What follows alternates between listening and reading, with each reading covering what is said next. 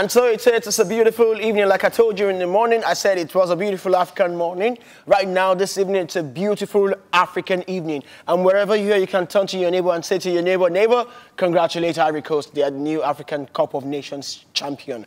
AFCON 2015 and the elephants of Cote d'Ivoire did Africa proud, did themselves proud, and they are the champions. More, more, and more, and more, and more of that to come. More to come on that one later. Of course, tonight I have with me my super duper friend, the one who counts his ABC in a super duper way. His name is Super Duper ABC Abu Chineke Njoku. But he will be back with me in a bit. Also, I'd like to tell you this. Don't forget you can follow us on all of our social media platforms.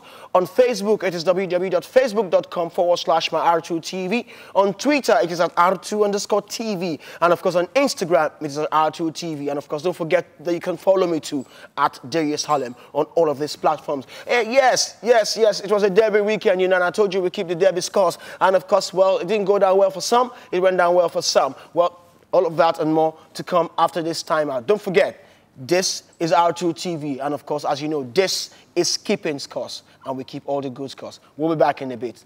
Don't go away. You can now watch R2TV online at royalrootstv.com and on your smartphones by downloading the R2TV app for Android, Blackberry, and Windows Mobile from the respective app stores. Apps for iOS devices coming soon. R2TV Entertainment at its best, entertainment everywhere.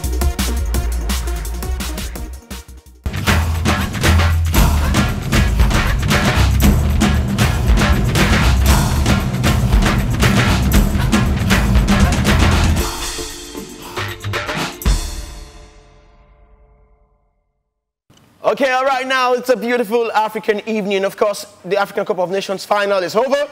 Ivory Coast are the champion, and there's been a whole lot of reaction, a lot, lot of, lot of, lot, and lots and lots of reaction to that one. You know, the elephants of Cote d'Ivoire, the one we would like to call the golden generation, are finally, finally golden. Maybe Didier Drogba made the right choice by not being a part of this team tonight, uh, this edition.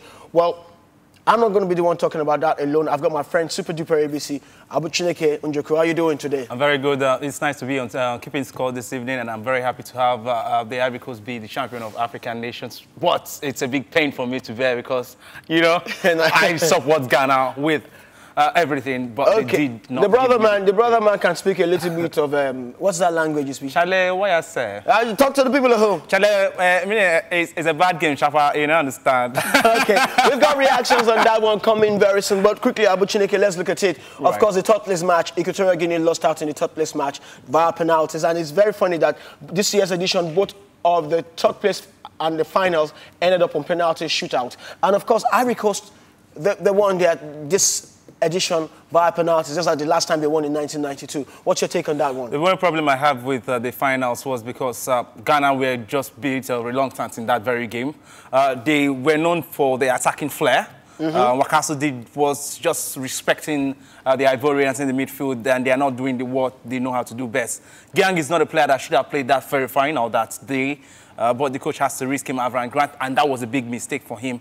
He would have played uh, Jordan Ayew, and I would have done that the real magic up front, partnering with his brother, and also making sure that the, the Ivorian defense is being put on threat. You know, Kolo Touré is not a good defender that you can bank on anytime, any day. Uh, I, like to uh, take you back on that. Kolo Touré, yes. is not a good defender or is, is not the best in the best of forms anymore. I can't say he's not in the best of form because even while he was in Arsenal, he wasn't performing at the peak. From your own uh, perspective? From my own. That's, that's the truth about it. Uh, most players are fortunate. Some players are really fortunate, and he's he falls into the bank of those players that are fortunate okay. to be in the, All right, now. the right place at the right time. Okay, I'd like to, I'd like to take you up on this one. Abu Chineke Njoku just says, said that um, Kolo Touré is not exceptional, exceptional, exceptional. I'd like to take you up on this one. Do you think that Kolo Touré really was just fortunate to be at the right place at the right time? Don't forget the hashtag is keeping scores. Now back to you. You've just challenged the people at home. My and still, and still moving on with uh, my analyst on the game uh, for the final. Um, Ivory Coast were the one that didn't take their chances. We were thinking Bony would have run over, but uh, the big uh, defender from the Ghanaian side has been very, very fantastic, stopping him in the air after the ball was being pulled onto his Okay, I'd like to ask you this. Don't you think it's a question of both teams trying to be technical in, in, in a lot of areas, trying to be careful, trying to play it safe at the same time, hoping they could go on, on the counter. Because Ghana would have scored. Ghana had, had, had the chances to put, to put the game under, to bury the game, but it would work twice. Mm, the problem I have with Ghana is that um, technically the coach didn't set up the right team that he always set up. Avram Grant did the mistake in that very final. Um, you can also bank on the, which of their key players. Wakaso, basically, I have to mention Wakaso because he's one of their Wakaso. yes, he's one of their active player.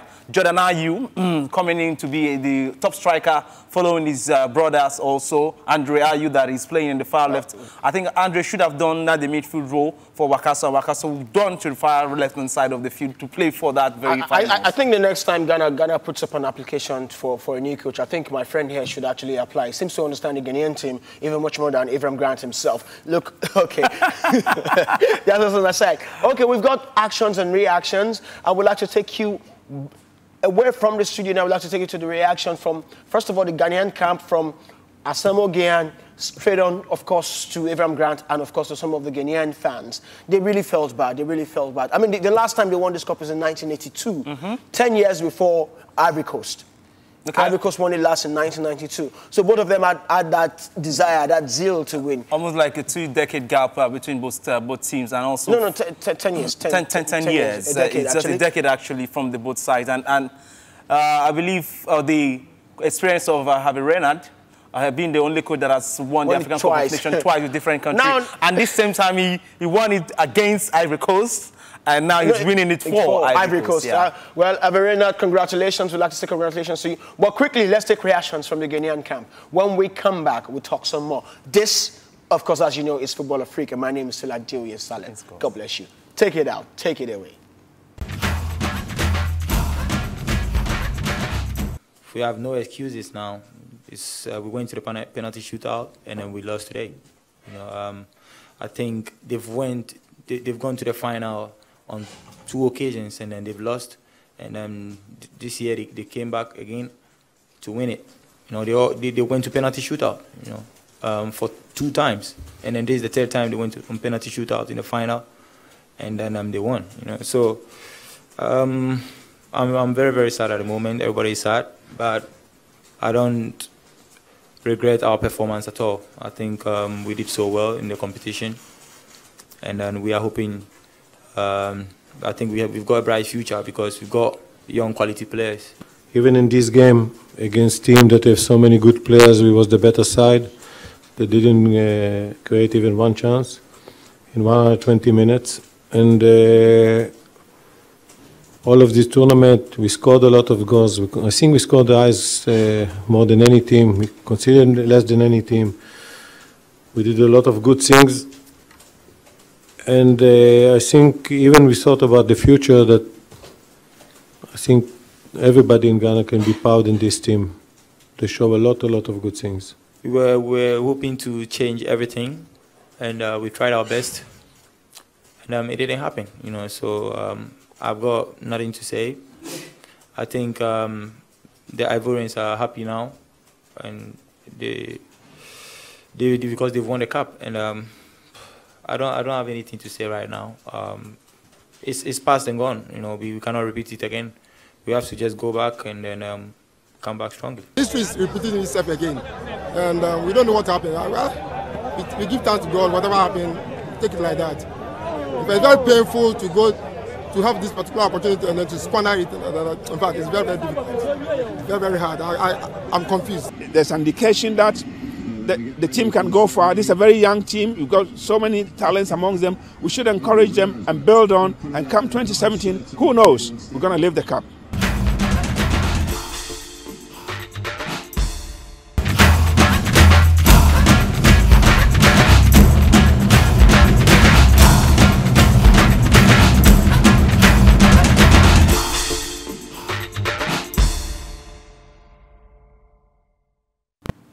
Okay, right now, uh, right now, I feel so much for the Ghanaian, for the Ghanaian national team. I feel so much for the Black Stars of Ghana.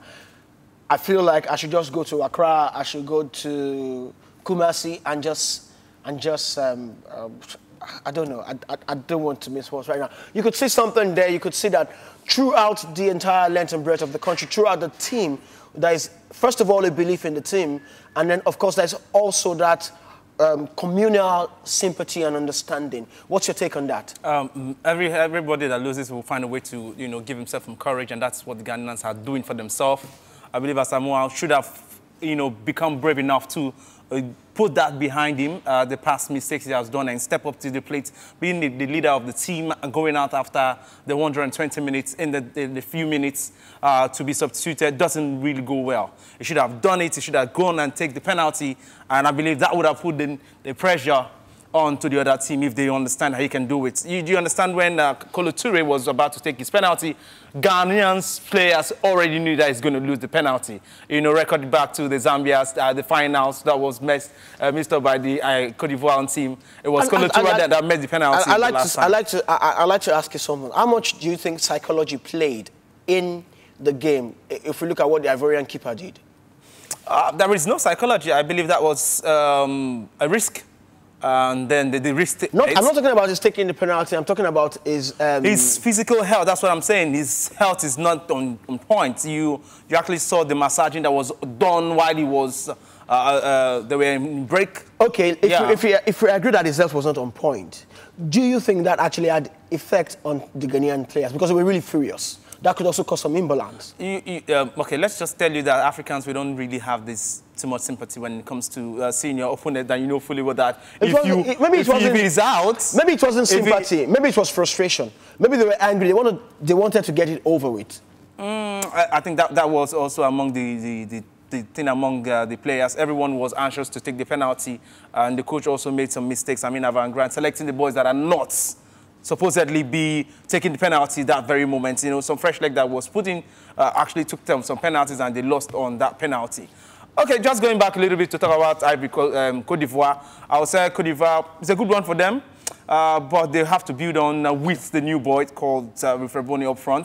TNA is also a good young lad that has been brought into the team, and you can also see that their, uh, their, their goalkeeper is also saying that this is a, a builder, a step forward for the coach. Also, Averena coming into the Ivorian team and Kolo Toure with Yaya Toure the two brothers partnering well and making sure that the team have the, the needed courage to get their trophy. Okay, all right. Now, we would like to take you to something very special. The Ivorians, of course, we had Kolo Toure speaking, we had Everenat speaking, and we'd like to take you back to that video. It's something, I'd like to say congratulations, of course. I've said it over and over again, and there's no end to saying it. To the new champions of Africa, that's the Elephants of Cote d'Ivoire. We'll take you to this reaction, and when we come back, we'll talk some more, because this is R2 TV's Keeping Scores and I'm here tonight with Super Duper ABC. And my name is Adeoye Salem. Take it away. We'll be back after this time out. C'est magique, mais avec euh, son pays, c'est. Even winning with your club has something magical in it, but winning for your country is something exceptional. On a, on a, on a travaillé pendant longtemps pour gagner ce trophée-là. Je crois qu'aujourd'hui, euh, c'est une grosse bouffée d'air. Voilà. We have worked for a long time to win this trophy. Euh, I think that today it is like we've had a big breath of fresh air. We're going to celebrate with our families, with people close to us. C'est pas été aussi simple, comme on le disait. I think that today we should also congratulate our leader, Hervé Renard, who did amazing work. This wasn't as simple as we were saying. Along the way, we've had our share of criticism, sometimes quite aggressive. And you see, he knew how to put us on the right road so that every one of us leaves his own stardom at home and in our rooms and start working for the team when we come out. Today, we felt like an exceptional group. We were very happy and we will go celebrate.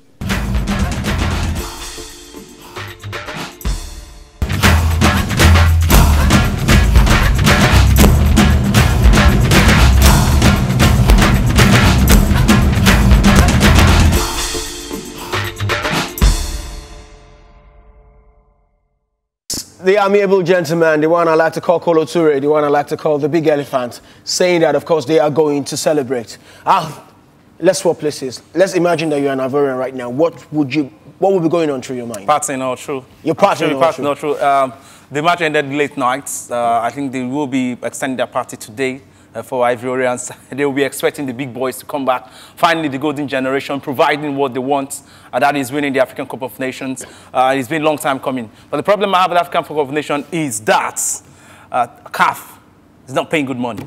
Yeah. now, my, now my friend is, is, speaking like a businessman. He's saying CAF is not paying good money. When you say CAF is not paying good money, are mm -hmm. you mm-hmm. saying that CAF is not paying good money because there's no good sponsorship? Or are you saying that CAF is not paying good money because CAF is not paying good money, in spite of the fact that they may, you understand what I say? I understand. CAF is not paying good money because there is no good sponsorship, or CAF is not paying good money because CAF is not paying good money because can, they don't you, want to pay good money. You can't be organizing an event in Africa, the biggest event in Africa, I mean African football. You know, basically, Africans, we love football. If not for the South Africans that love uh, the rugby uh, and also the cricket, cricket. Uh, you, are say, you, you definitely not argue the fact that football is the biggest sports in, in Africa. Sports in Africa. So if CAF say they are not having sponsor, I think they are very, very uh, they're not saying the truth. Right, 1.5 million naira, 1 million naira for the uh, second place. I mean, the runner-up for Ghana, 1.5 for Ivory Coast.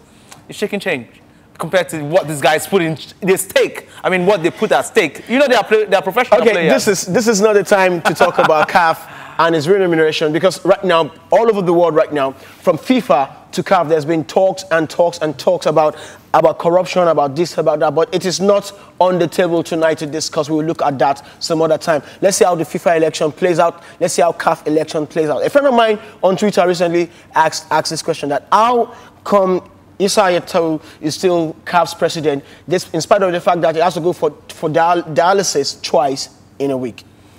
Ah, politics. Well, we're not going to talk about that. This is it's not just, the show. It's just politics. This is not the show to talk about. Uh, to the, talk the about simple answer is politics. CAF football, CAF politics right now. It's a beautiful evening. We'd like to go on a short break. When we come back, we'd like to go into the international derby. Of course, you all know that Arsenal played Tottenham over the weekend, and of course, Arsenal lost. And um, Real Madrid also played Atletico Madrid, and um, Real Madrid also lost. And then Liverpool and Everton played it all you know, it was squared between Liverpool and Everton. When we come back, it's still keeping scores. And we'll keep discussing on those ones. I told you we'll keep the derby scores. We'll be back in a short while. Don't go away.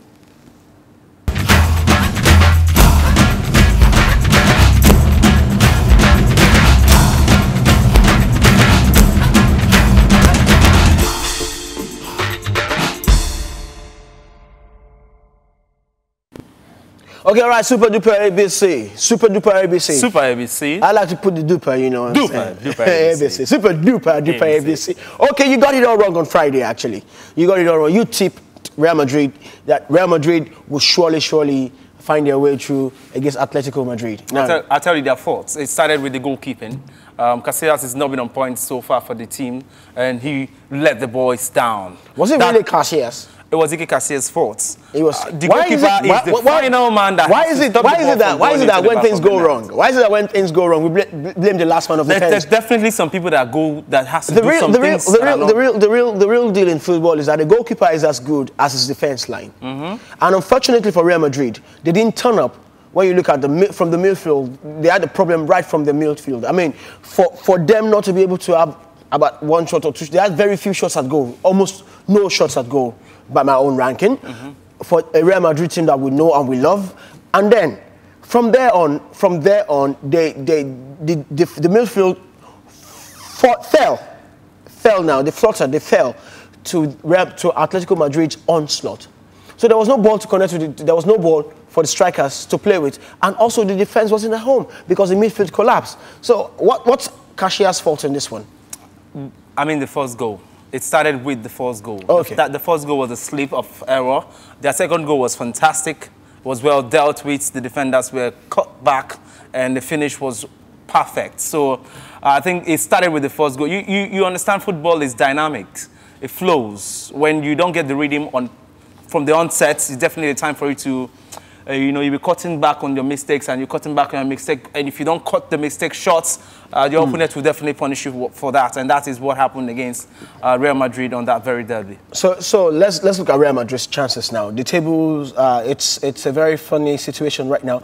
Real Madrid, they've got they've got, they're just one point They've got 54 points. They're on 54 points from 22 matches. Mm -hmm. They're just one point ahead of Barcelona, and then they're two points ahead of Atletico Madrid. Now let's look at this. 10 matches from now, where do you see Real Madrid? Madrid are going to be going far. Uh, I believe Madrid have a, a, good team to, to a good team to move with. Uh, their boys will be recuperating. The, the team will also want to have a good fight back after you know being demolished by their neighbors, Atletico Madrid. I do you have to use the word demolish. It, four goals is, is too big for I mean, they the got one. I mean, I mean, they got one. They considered one. They considered two. They considered three, and they considered four. And of course, what would you say about Griezmann's form? Um, Griezmann is very, very fantastic. He's a player that pushes the ball up front. And one of the things that has been working for this Atletico Madrid is that they are very aggre- aggressive and they are compact in the midfield. You understand when the ball was, during the second half, when the dynamics of the game started changing, where Atletico, Real Madrid continued to have the balls, it was fouls that the Atletico Madrid uses to cut back the attack from the Madrid team and they were booked on that. So that's, for me, it's not a good way to play football. Sometimes they But then it's working for them. uh, sometimes they take it overboard. They take it overboard and they get. But it didn't work for them in the. Champions League finals. It didn't work for them for the Champions League final. Even against uh, Barcelona, they were very. There were so many boxing booking for the Atletico Madrid team. So they had to come and back they even plane. they were even given a red card. Yes. Okay, And- okay. And, that was it for them. Okay, let's let's now come back to the English Premier League. Arsenal. Arsenal fell to Tottenham. Mm, I told I told my co-panelists that very day. I told I told my co-panelists the other day that. Uh, Okay, VJ Esquire, Bolaji Bolore, if you're saying this right now, um, uh, Super Duper ABC just called you out. He's saying, okay, you told him about Atletico, so you you had one, so shots have been fired right now. You fired one at him, now he's firing one back at you. He's keeping scores with you on that one, so it's 1 1 right now. It's 1 1, 1 1, 1. Okay, And the problem is with uh, the uh, the Arsenal team is that they finally found their rhythm in uh, Alexis Sanchez. He's a key player these days. No, but, but, but they, they played well without Sanchez until they stopped, they, they stopped playing. I think, uh, how would you, they scored first, and then they refused to Mesut turn up. Yes, they refused to turn up. and this guy picked up the ball. Uh, Harry Kane. Harry Kane. Harry Kane. Harry Kane. And the, one very dramatic thing about, about Arsenal's game, about Arsenal Tottenham's game, is the fact that right now a lot of pictures are surfacing on the internet of Harry Kane's younger days as a, as a footballer, as a footballer, and his countless pictures have come up on the internet with Harry Kane in Arsenal's jersey. As Harry Kane actually is, a, is an Arsenal reject, so to speak. But right now, there's the one that's doing the damage. It's it's time Arsenal find a way. Arsenal find a way to actually, you know, everyone they've rejected seems to come back to on them from from the days of um, Aladier, Aladier to to to even. Ashley Cole and all of them, and all of that. So, what do you think that Wenger needs to do right now? The season is almost beyond their grasp. They, they, they, they, they just have 42 points. They are right now sixth on the log. Do you think they stand a Champions League chance this season? Uh, they still stand the champion discharge. Uh, you know, um, Southampton is not a team to bank on. And you understand that they can just drop three points in a row. Arsenal's form is just uh, one out of six matches. They've won five matches on the bounce.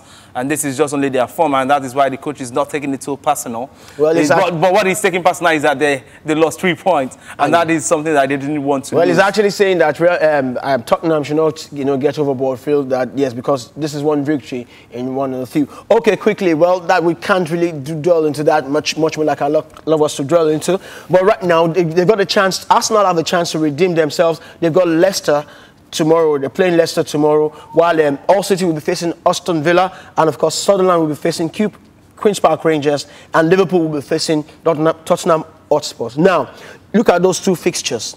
First of all, Arsenal could get a three-point if they do win tomorrow At the Emirates, at the Emirates. Then they probably would leapfrog. Um, they could, they can, if they win tomorrow. they have a, a two points gap. gap.